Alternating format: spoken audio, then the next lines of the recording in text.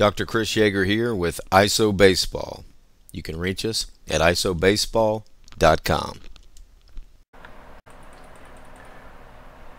The external rotation, or the turning out of the bone, happens as the ball passes the ear and lays back, creating lag. Let's take a look at an exercise here for the outward rotation of the humerus, or also known as external rotation uh, at the shoulder joint. Okay, here I'm working with one of the, the lighter resistance bands, again attached to our uh, batter's wall there. Okay, and again now we're going to turn the bone in the opposite direction. This is the outward turning of the bone or, or external rotation at the shoulder joint. And here you'll take the arm to a position where the uh, forearm is parallel to the ground.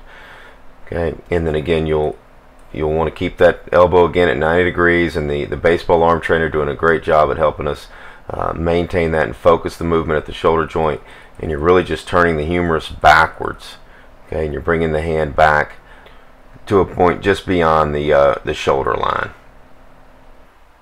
Take a look at a few more reps here. Again the handle just a just a great attachment point as the as the handle uh, moves with the hand okay. And again we want to keep the bicep also parallel to the ground. Uh, the humerus stays parallel to the ground uh, as we go through these